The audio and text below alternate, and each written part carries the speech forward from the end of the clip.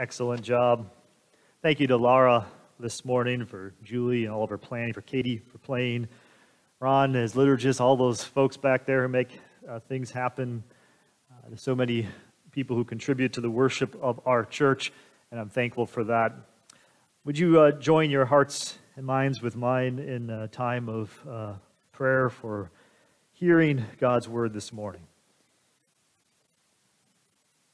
Oh Lord, this is one of those beautiful winter mornings uh, when the sun shines so brightly and reflects and gleams off the fallen snow.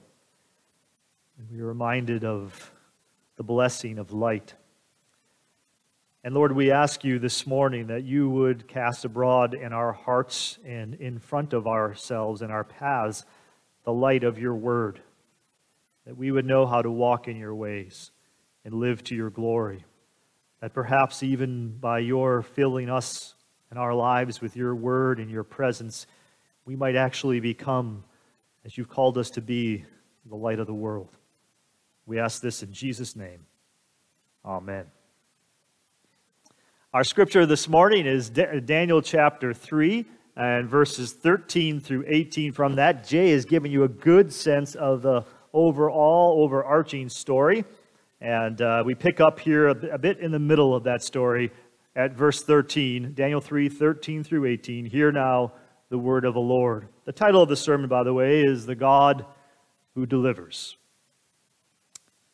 Then Nebuchadnezzar, in furious rage, commanded that Shadrach, Meshach, and Abednego be brought in. So they brought those men before the king.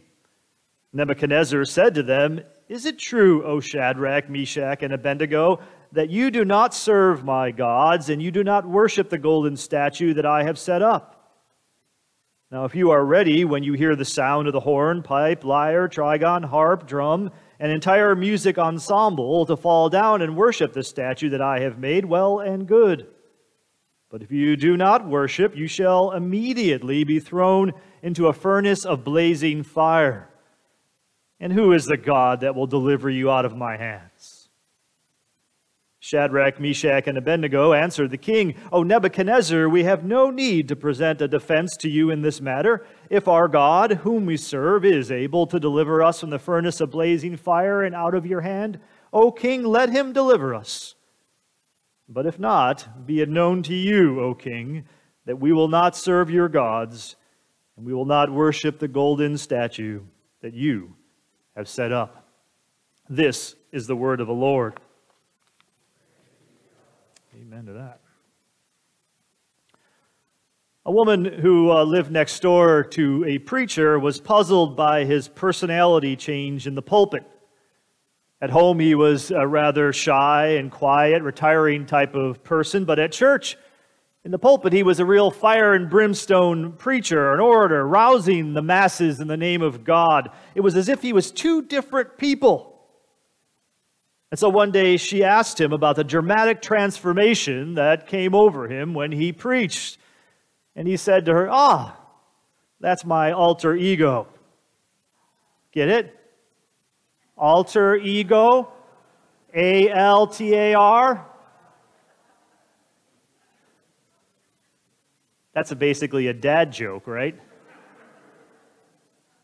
I love dad jokes. It's, I feel like it's one of the few privileges I have left in my age and my station in life. I can do dad jokes. It's mine.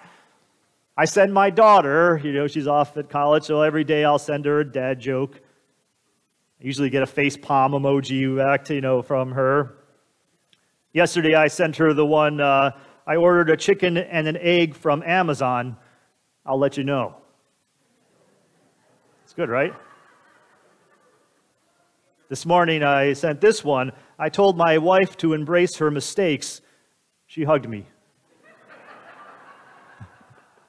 Dad jokes, they're great, right? That preacher joke, that was basically a horrible dad joke of a sort, it, it plays off of a trope, right? The, the trope of the fire and brimstone preacher.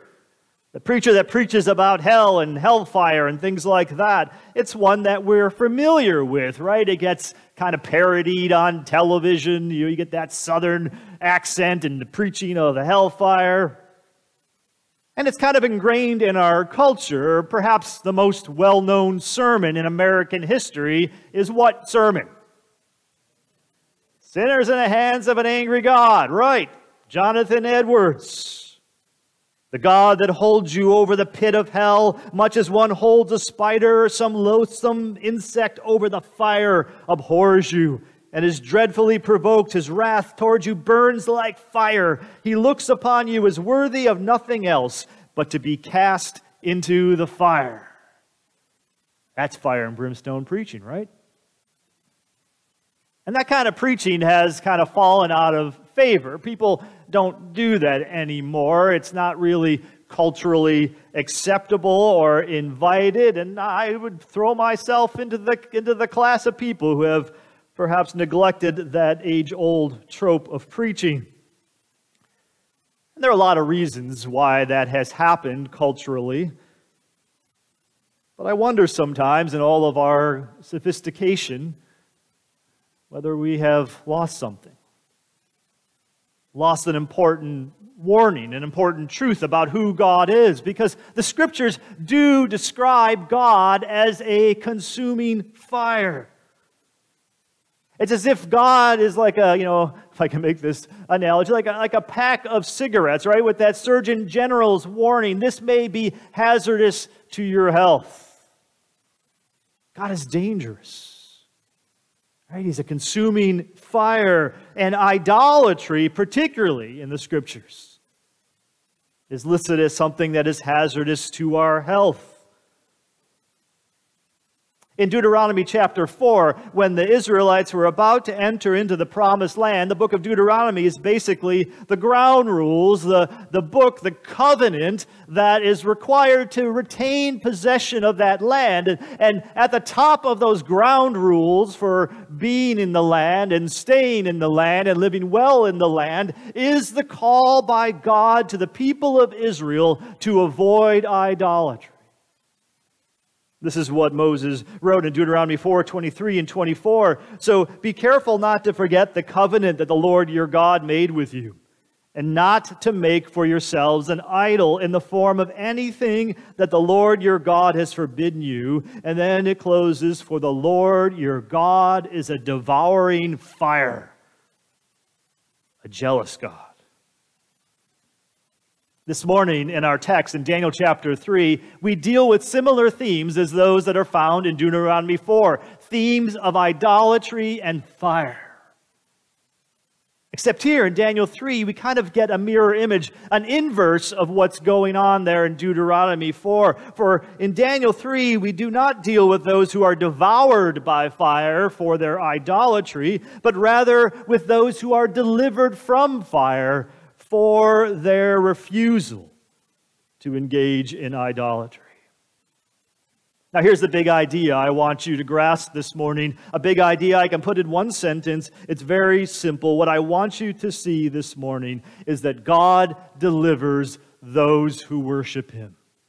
God delivers those who worship Him. I want you to see this morning in all of His glory the God who delivers.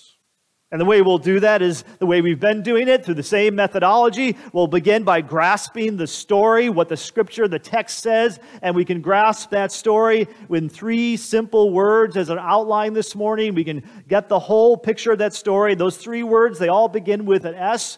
This is the outline for the story. We'll look at the statue, the statement, and the salvation, statue, statement, and salvation. And after we grasp the story in its context, we'll then ask ourselves, what should we learn?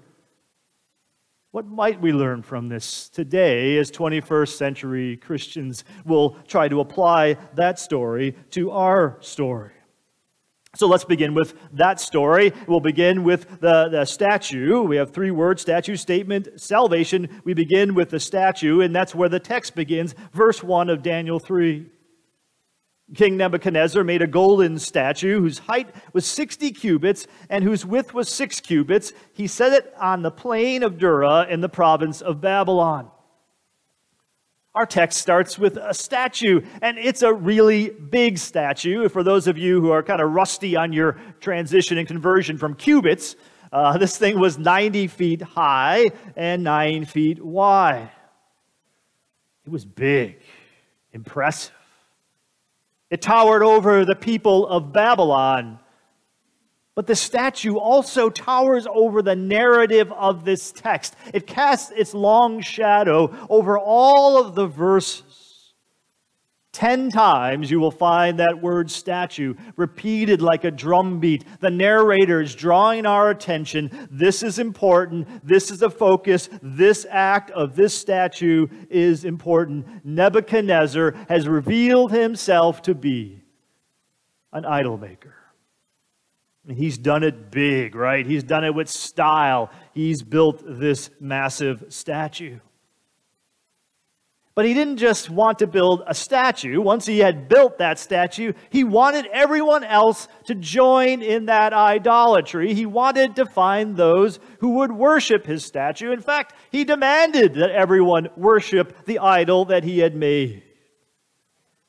And so he throws a big party, right? He throws a big dedication ceremony and he calls everybody before them and he calls them to bow down or else. And the or else is described in verse 6 of Daniel 3 Whoever does not fall down and worship shall immediately be thrown into a furnace of blazing fire, fire and idolatry.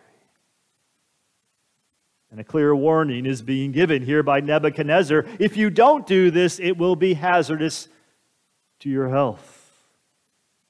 And so what happened? Well, as Jay mentioned in the sermon, most people, you know, um, kind of went through a quick calculus there and decided uh, it might be better for me to bow down and worship this thing rather than being thrown into a furnace. I mean, if I look at the alternatives, bowing down a lot easier than burning to death. And so they bowed down, all of them except three righteous dudes Daniel's three friends. Shadrach, Meshach, and Abednego, they decide not to bow down. They refuse to do it, and they stood out literally from the crowd. And so someone goes and rats on them to Nebuchadnezzar telling Nebuchadnezzar, They do not serve your gods, they do not worship the golden statue that you have set up. And Nebuchadnezzar is none too pleased with that news, and but he gives them a second choice, a second chance. He he calls them and summons them before himself, and he says, All right, you got one more chance. You can bow down to this statue like you're supposed to. Or in verse 15, he says this, but if you do not worship, you shall be immediately thrown into a furnace of blazing fire. And who is the God that will deliver you out of my hands?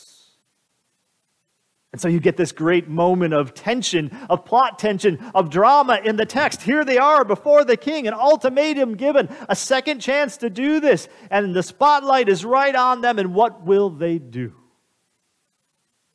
Will they bow down?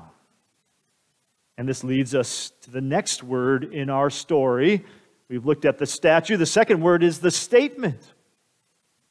Here's how they respond they respond by making a statement to the king in front of the king. Verses 16 through 18 of our text. Shadrach, Meshach, and Abednego answered the king, O Nebuchadnezzar, we have no need to present a defense to you in this matter. If our God, whom we serve, is able to deliver us from the furnace of blazing fire and out of your hand, O king, let him deliver us. But if not, let it be known to you, O king that we will not serve your gods and we will not worship the golden statue that you have set up. That's the statement that they made before the king. And it's a rather unequivocal statement, right? There's no doubt about whether they will bow down and worship this statue, right? They say it very clearly we will not serve your gods, we will not worship the golden statue. So, in one sense, it's a statement without equivocation. But if you look a little bit closer, there is some ambiguity, isn't there, in that text? Did you catch it when I read it? Verse 17 If our God, whom we serve, is able to deliver us, I have this question. Perhaps an ambiguity. It's interesting. There's a translation challenge in this text. And this verse here, verse 17, has been rendered in a variety of different ways, starkly different. Let me just show you briefly, if we could put up that one slide I have here of the text. Compare the NRSV here to the NIV. If our God, whom we serve, is able to deliver us from the furnace of blazing fire and out of your hand, O king, let him deliver us. Kind of poses as well, if he's willing and able. Look at the NIV. If we are thrown into the blazing furnace, the God we serve is able to deliver us from it, and he will deliver us from your majesty's hand. That is two different translations, right? You can take that down. Which one of those is right? That's a great question. and I don't necessarily know the answer to that question it is a challenging text to render, and some have said, well, you know, the NIV rendering this kind of more is driven by a conformity to what we expect of faith and of God that and tradition of translation. You know, of course God is able to do that.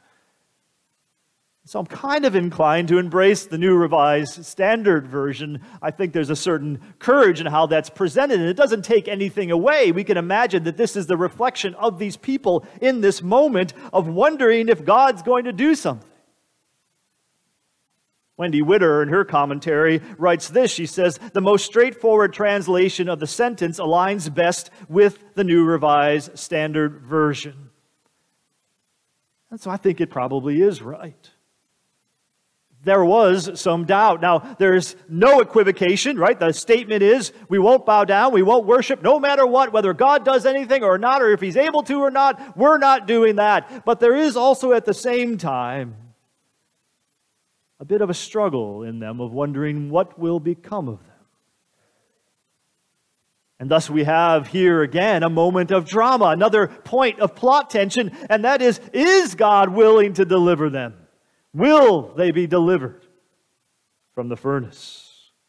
And that brings us to the third word in our story, the salvation. We looked at the statue, the statement, the salvation. And here's what happens when Nebuchadnezzar hears what they say. When they hear this statement, right? He hears this statement from them. He becomes really angry. He gets so angry, he says, I'm turning up the heat on that furnace, 7x, right? Seven times. And that's what he does, right? He turns it up, makes it hotter than ever, and our boys are put into that furnace. And I wonder if they were thinking for a moment, kind of like in a little Alanis Morissette there, in the sense that isn't this ironic? I mean, God tells us, you know, if you participate in idolatry, you're going to get fire. And here we are doing the right thing, and what do we get? Fire. We're in the furnace of fire, and they, they go into that furnace. And then Nebuchadnezzar sees something, right? He, he sees this fourth man that Jay talked about. Someone else is in there in the fire. And eventually, what happens is the king kind of opens the door and calls them out. And here comes the three guys, right? They come out and they are not singed at all.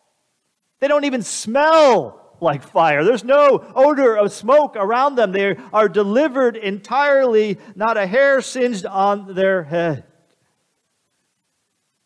They are delivered, saved from the fire. And then the king responds by worshiping God. He gets it.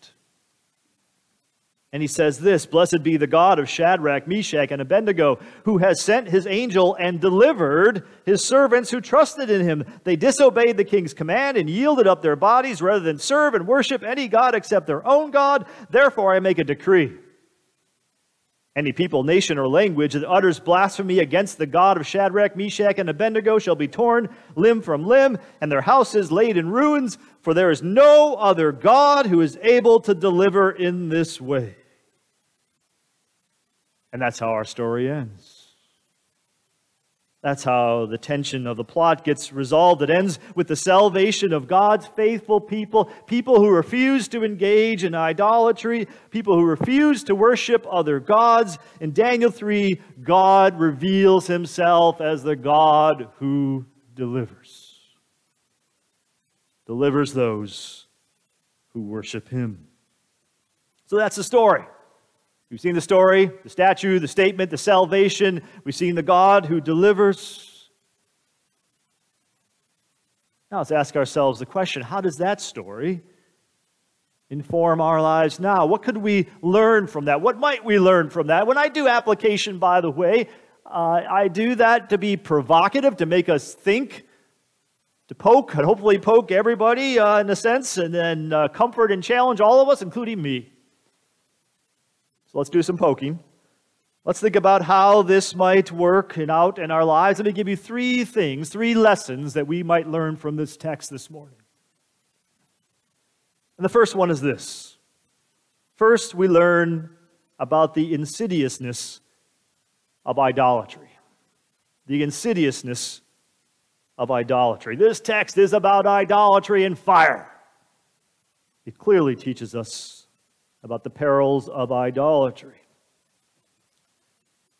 In the Institutes of Christian Religion, John Calvin wrote this. He said, quote, "We may infer that the human mind is, so to speak, a perpetual forge of idols." That the human mind is a perpetual forge of idols. The, the Latin makes it sound more ominous that we are idolarum fabricum. That's who we are. We are forgers of idols. I think sometimes when we read this text or we teach it in Sunday school or whatever, we naturally want to identify with Daniel's three friends, that this is with whom we're most aligned.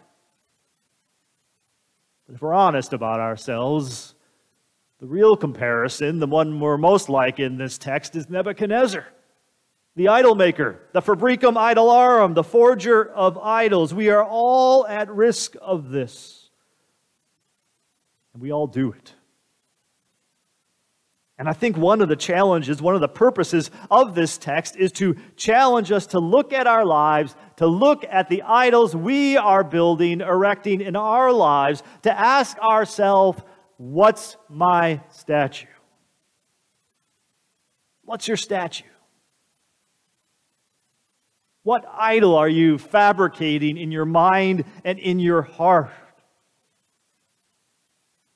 Now, most of us don't build 90 foot statues in our backyard, right? This is not what we do, except Gary, who's got that Josh Allen statue he's working on. I see you back there.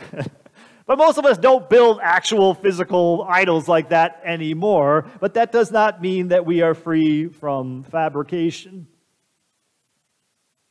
Tremper Longman, drawing on the work of Paul Tillich, writes about this fabrication of idols, and he uses Tillich's word, the ultimate concern. If you want to find what your statue is, what your idol is, what your risk of idolatry, what you're bowing down to, look for the ultimate concern in your life. He, Longman writes this He says, Tillich pointed out that a person's God is the thing, is the thing or person that one is most concerned about or affects one's life the most, affects one's life the most.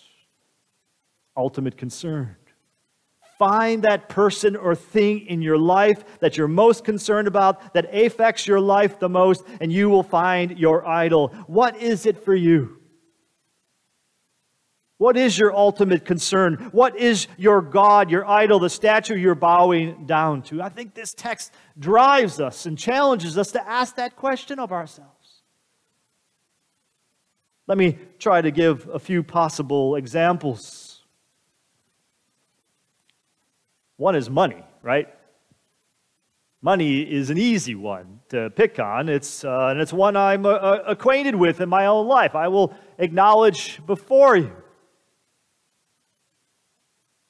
There have been three times in my life that I have left jobs for less money, including this one.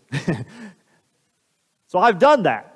I haven't always bowed to the idol of money, but I have. There was one time in my life that I took a job solely because of the money. Now, at the time, I rationalized it in a variety of ways. It's only with hindsight, it's only with perspective that I can really see that they were truly rationalizations. It was an opportunity. It was hard. You know, it made my life a lot easier. And let me tell you, the money was nice. It was helpful.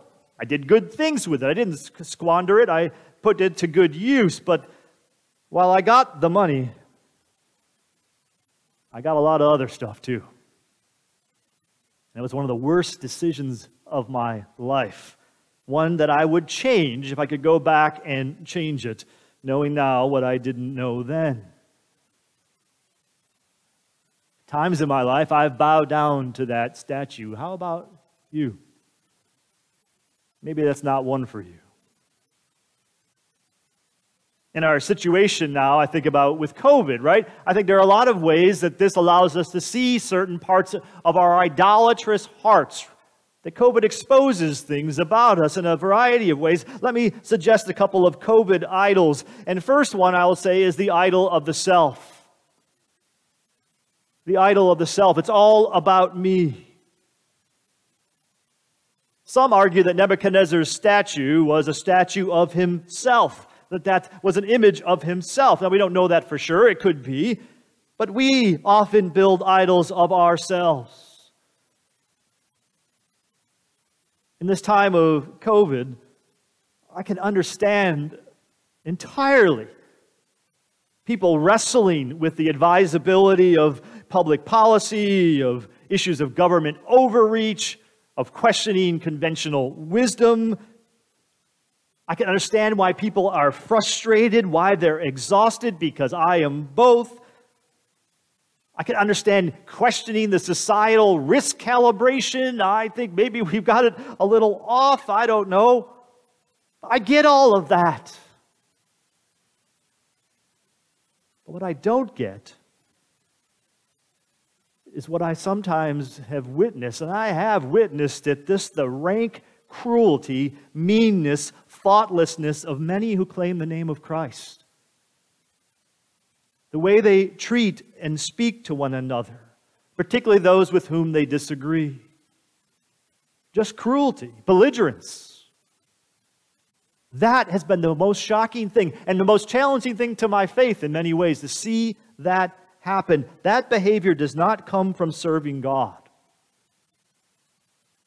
that comes from serving ourselves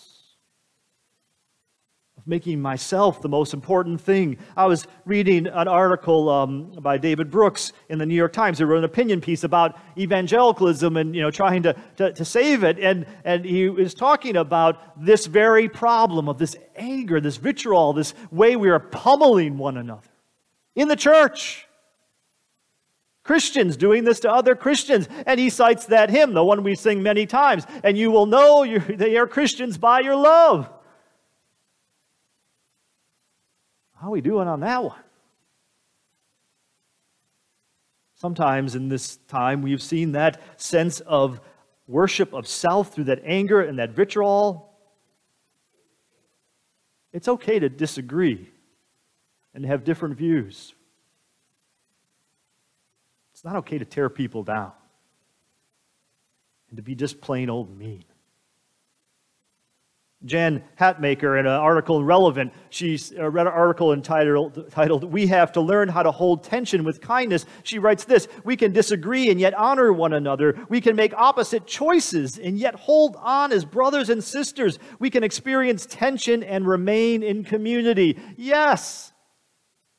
And then she cites the example of John Wesley and Charles Spurgeon. Now, if you know anything about those two people, you will know that Charles Spurgeon was an ardent Calvinist. And John Wesley, of course, was an ardent Arminian. They were theologically miles apart. They were arch enemies in that sense. They fervently disagreed with one another and one another's theology. I mean, they were like Fauci and Rand Paul, okay? These, these people did not get along. But Spurgeon said this about Wesley I can only say concerning him that while I detest many of the doctrines which he preached, yet for the man himself I have a reverence second to no Wesleyan. And if there were wanted two apostles to be added to the number of the twelve, I do not believe there could be found two men more fit to be so added than George Whitefield and John Wesley. The character of John Wesley stands beyond all imputation of self for self-sacrifice, zeal, holiness, communion with God. He lived far above the ordinary level of common Christians and was one of whom the world was not worthy. That's how he spoke of the one with whom he vehemently disagreed. Why can't we do that? And I should say, many have done that. I don't want to say that no one has. There's people in this church who disagree with a lot of things that have happened, and they've worked through with patience and with love and with endurance and, and working with those who disagree. But sometimes I've seen this thing about just this anger and meanness. And I think that's the worshiping of oneself, of honoring oneself rather than the other. What is your statue? Now, let me deal with another COVID idol, if you will, uh, a second idol, and let me poke in a different area here. And this is the second COVID idol. The first one was the idol of the self, the second one is the idol of the self. You say, you just did that one. Well, let me give you another side of the coin. There's also a risk, I think, during this pandemic to idolize ourselves in the sense of the most important thing in the world. My ultimate concern is me, my self preservation, my life. That's all that matters. And this is particularly something that is a concern when we look at the income inequality in our society and the divides between the working class and the educated class and what's going on in cities and other places. Sometimes we use that argument, well, I'm doing what I'm doing because I want to protect other people, when really, maybe if you press it a little bit deeper, we're trying to protect ourselves. And maybe to the harm of other people. I know it's somewhat anathema to ask you to think that way, but we should think about that. Michelle Caruso Cabrera wrote an opinion piece about uh, what's going on in New York City, about people should go back to work, go back to Manhattan. And her point was drawing this, this disparity between the unemployment level in the Bronx, where it's 11%, right? Three times the national average. Why? Because people who work in Midtown Manhattan are all at home on their laptops. They're not getting their shoes shined. They're not getting their coffee poured. They're not buying lunches. And a lot of people are hurting. And the question is what's going on? And is that right? And is it all about helping others or is it about helping me, the laptop class versus the working class, and what's going on? And I think we should ask those questions. They're legitimate questions to ask of ourselves and our choices. Is it really about my concern for others? Or is it all about me? This text calls us to ask questions of ourselves, to challenge ourselves. Where is the idol in my life? What is my statue? The, this text teaches us about the insidious nature of idolatry. It's in all of our lives. We are, as Calvin said, forgers of idols. The second thing we learn from this text is what it means to be a true biblical hero. A true biblical hero. I showed you that text earlier from Daniel 3:17 and that whole question of translation and whether are these guys doubting? You know, are they concerned whether God is going to deliver them or not? What's going on here? And I think they were. I think they had a level of uncertainty and a level of doubt, and dare I say it, a level of fear. You see, sometimes we think that a biblical hero is one who is absent of doubt, absent of fear, and you even have that mantra that God has gone around, right? Faith versus fear. I don't know how many times I've heard it. As if that's the dichotomy, as if they are mutually exclusive terms. Here is a group of men who I think had both. And they held them in tension faith and fear. Where there is no fear, there can be no courage. That's what a true biblical hero is like. One who, in the midst of fear, does the courageous right thing, even if they're not sure whether God's going to bail them out of the deal. That's what these three friends showed here. And beloved, my heroes, and I see this all the time, it's one of the privileges of being a pastor. My heroes are those people in this congregation who are dealing with pain, who are dealing with illness, who are dealing with battles with cancer. And what I see them as heroes is how they hold together in the tension of that moment of pain and of fear and of doubt and uncertainty whether God might deliver them, they still hold on to their faith. And they follow Jesus Christ. And they do the right thing, even though they're not sure whether God is willing or able to deliver them. Those are biblical heroes. And this text teaches us about the true nature of a biblical hero. And then, third and finally, this morning, and most importantly, we learn that we are not alone in the fire, that we are never alone in the fire.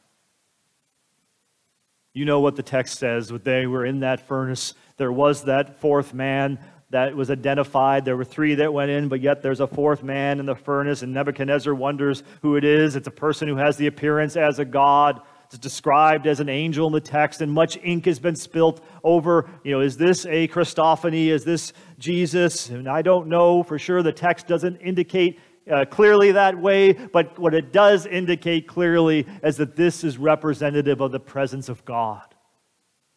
God was with them in the fire. He was with them in their trial. He was with them and delivered them. And you could even argue from this text that God is particularly with us in the places that are most God forsaken. That it's in the trial, that it's in the fiery furnace, that God is most present and most made real, as he was here in this text. And Nebuchadnezzar asked that question Who is a God that will deliver you out of my hands? That kind of mockery question. I'm going to put you into this crucible, into this fire. Who can deliver you? It reminds me of the questions that were asked of Jesus, the mockery on the cross. He saved others, he cannot save himself. He is the King of Israel. Let him come down from the cross now, and we will believe in him. He trusts in God. Let God deliver him now if he wants to, for he said, I am God's son. God delivered them out of the furnace, and God delivered Jesus out of the grave and from the cross. It was in that fiery furnace on that cursed cross that God revealed that He's with His people, even in seemingly God forsaken places. That's your hope and my hope. That comfort is for you this morning. If you are there, if you are in that trial, know that there is the fourth man. Know that God is with you in the fire.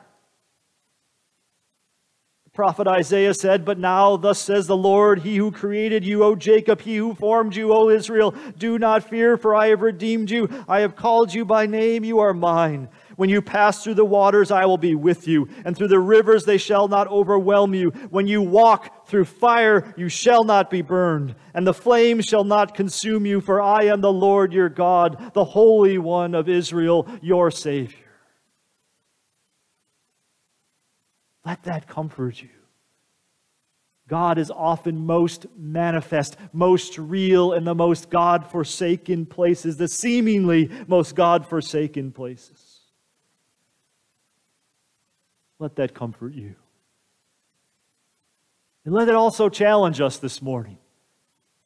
Challenge us to be the fourth man, to be the light of the world, to be God's presence in God forsaken places. Isn't that our calling as the church? Bono of U2 put it this way God is in the slums, in the cardboard boxes with a poor playhouse. God is in the silence of a mother who has infected her child with a virus that will end both their lives. God is in the cries heard under the rubble of war. God is in the debris of wasted opportunity and lives. And God is with us if we are with them. We are there if we are willing to go into the God forsaken places and be the presence of the Lord. Ronald Pierce put it this way in his commentary Remember the profound truth that God is most often discernible, knowable, and touchable when we join Him in working in the most difficult, impossible, and allegedly God forsaken places in lives. The third and most important thing we learn from this is that we are never alone in the fire. Beloved, make no mistake. Our God is a consuming fire. He is a jealous God. Remember idolatry and fire. but He is also the God who is with us in the fire, the God who delivers us. So, what do we do? We worship the God who delivers. Let's pray. Oh, Heavenly Father, we thank you for this word this morning, for this reminder, for this challenge, for this comfort for our lives. We pray that you would help us, oh God, to be honest with ourselves, that you, O Holy Spirit, will work where I can't work. I can only generalize application, but help us, Lord, each one of us, work in our lives, show us what we're bowing down to. Help us to refrain from bowing down to the statues, the idols in our lives, and help us to live, Lord, to live for you faithfully. Even in the midst of fear and uncertainty and doubt, let us live for you faithfully. And oh God, let us not forget that you are with us in the fire, in the God forsaken places. And you have called us, your church, to be like you and to be with others in those places. Hear our prayer this morning. In Jesus' name, amen. If you would respond this morning in song number 432 in our hymnals, Our God is our refuge and our strength, if you would please rise for the singing of that hymn.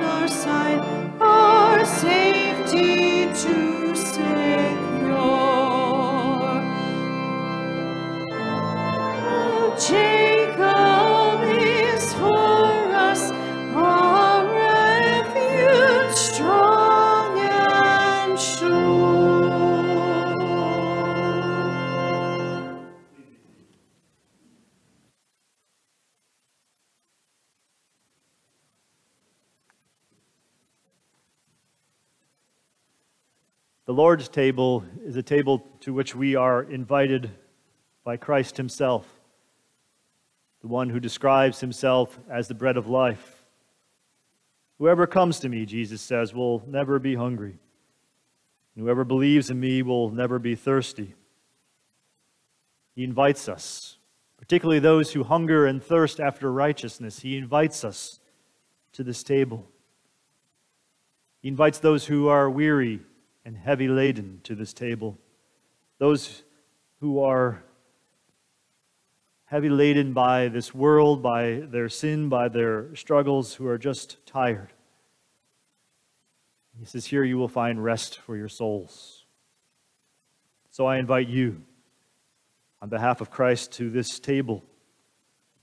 And as we come to this table, like Christ, we give thanks. Would you join me in a responsive great thanksgiving this morning. The Lord be with you. Lift up your hearts. Let us give thanks to the Lord our God. Eternal God, holy and mighty, it is truly right and our greatest joy to give you thanks and praise and to worship you in every place where your glory resides. Would you now bow your heads and pray with me? Almighty God, we come to you this morning admitting our own unworthiness to partake of this meal, and yet with confidence, sincerity, truth, and joy.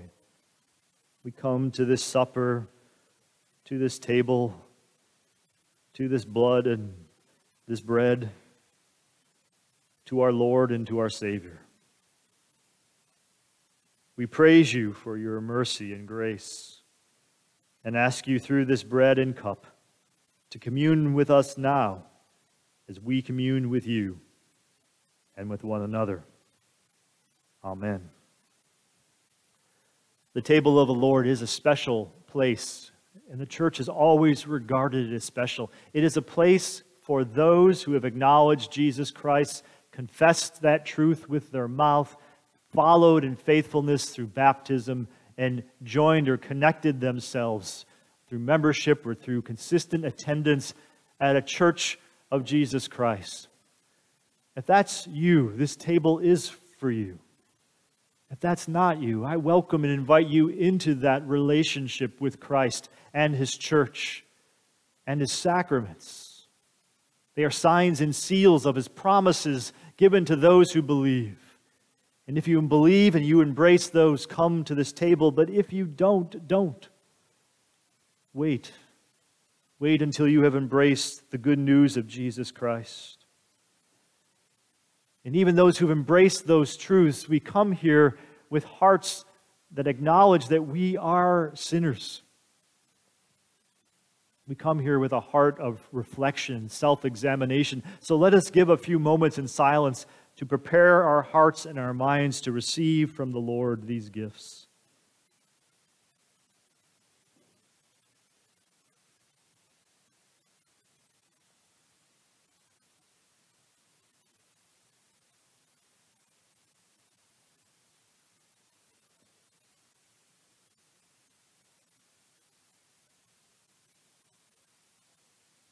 O God, forgive us of our sins, we pray.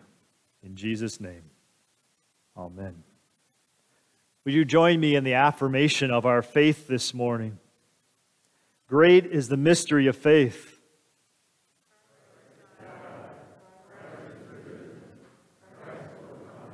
Praise to you, Lord Jesus.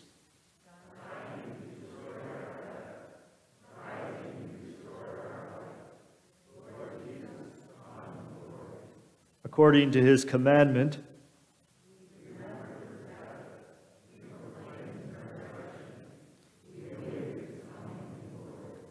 Christ is the bread of life.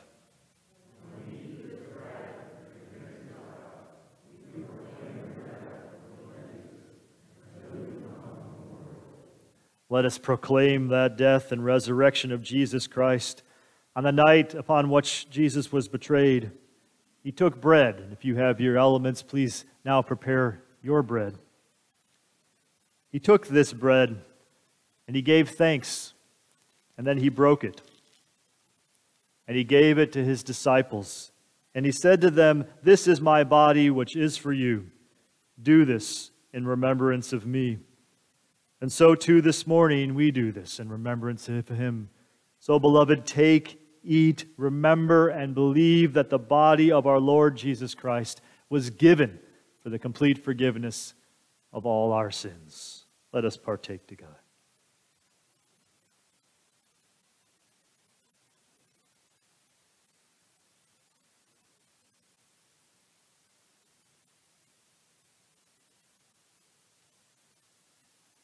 In the same manner and on the same night, Jesus, after supper, took the cup. And he said, This is the cup of the new covenant in my blood. Do this as oft as you drink it in remembrance of me. And so we, his disciples, do the same this morning. We take, we drink, we remember, and we believe that the blood of our Lord Jesus Christ was shed for the complete forgiveness of all our sins. Let us drink together.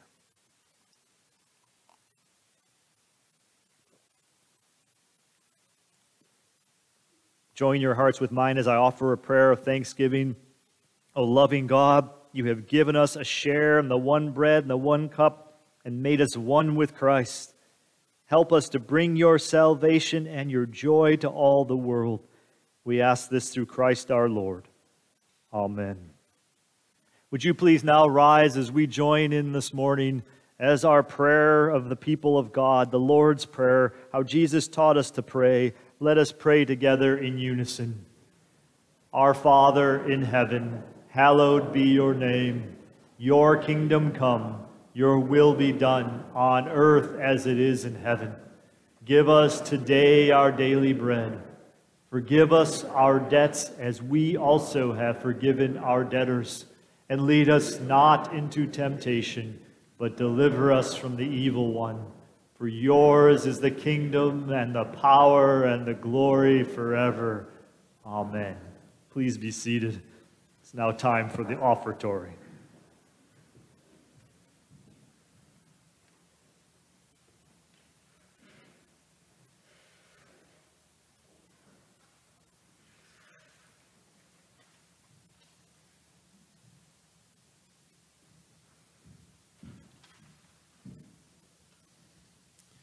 Offertory scripture is from James chapter 1 verse 17.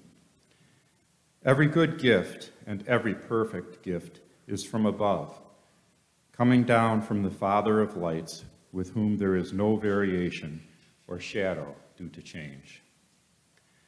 Our undesignated cash offerings this week will go to CES, and next week's undesignated cash collection will go to general ministry. Pray with me, please. Father in heaven, we give thanks for all of the ways that you have blessed us in grace and in sustenance. Please accept our offerings as we seek to honor your glory. In Jesus' name we pray. Amen. At this time, I'd like to introduce Kate Munsinger. She is the Director of Development at the Open Door Mission, and she's going to provide us with a mission update.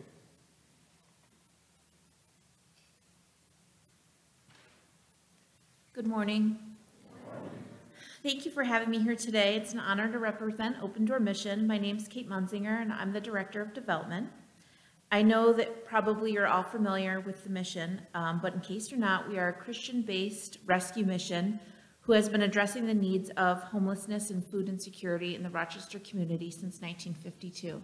This will be our 70th year um, of service to the community in 2022.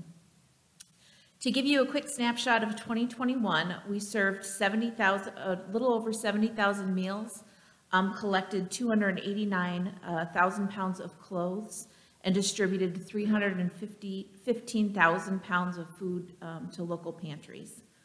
The COVID pandemic uh, has made us busier than ever. We have experienced much of what other organizations have faced with some staffing shortages and positive COVID cases among our guests and residents and our staff but we have successfully managed through it all, and I'm very proud to tell you that we have maintained full service throughout the pandemic. We have three main programs, our shelter, addiction, and a food program, addiction recovery, I'm sorry, and a food program. We operate the Samaritan uh, House on Main Street in the city of Rochester, our cold uh, water women and children shelter in the town of Gates, and our caring center on Plymouth Avenue in the city. Um, And we are soon to be opening a new facility, which will be um, on Main Street as well, and permanent supportive housing. I'm going to try to give you a really quick uh, update on each program. Um, With COVID ongoing and the closing of the Civic uh, Center garage uh, to our homeless popu- population, our Samaritan House Crisis Center has been operating at capacity. Um, In partnership with Monroe County, our shelter has served as a warming center. Um, This is basically means that we're open 24 hours a day to people who want to come in uh, from the elements. We act as a warming center from November to March. Um, We have 50 beds at our shelter, but when we pull out cots, we can accommodate up to 70 people. Our Coldwater Women and Children's Home continued to thrive in 2021 and was instrumental in getting moms and their children back on their feet. In 2021, we housed 37 families, uh, nine of which had carried over from 2020. Uh, This included a total of 39 children.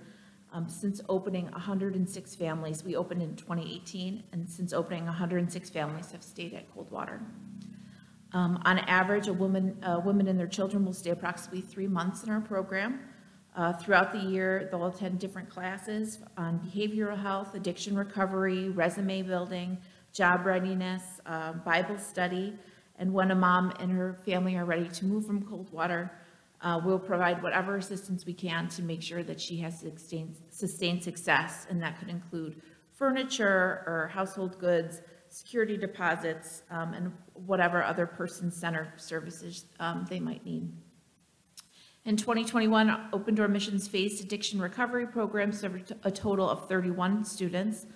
Our residential program is located in our caring center on uh, Plymouth Ave, and we have offer uh, many services there, um, a 60-day stability program, discipleship, comprehensive case management, um, different life skills, and an 8 to 12-month um, residential program. 2021 also brought some very exciting news for us at Open Door Mission. We embarked on a new endeavor, um, which will be affordable housing. In October, we broke ground on renovations to our Miller Building, which is off- also on Main Street. It's not directly next door to our um, Samaritan House, but about one door over.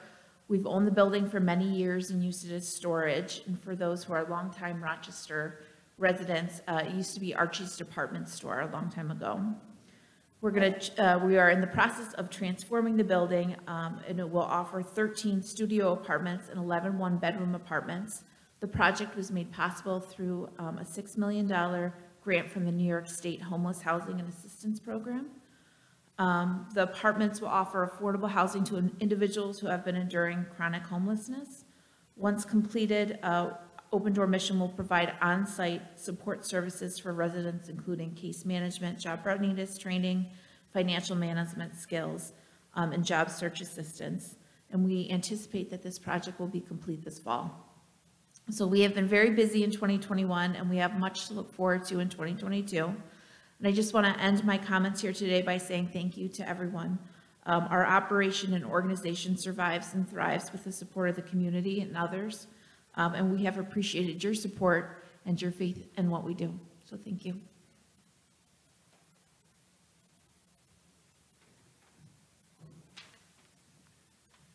Thank you, Kate. And we all please stand now and join in singing hymn number 950, Go Now in Peace.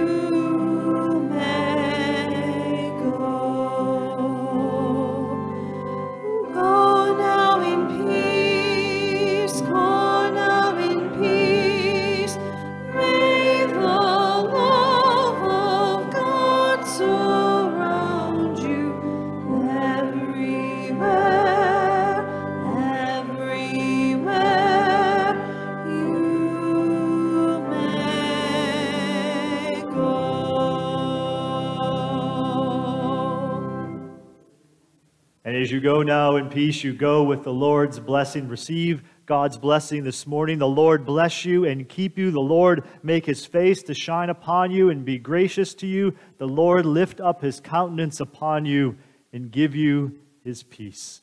Amen.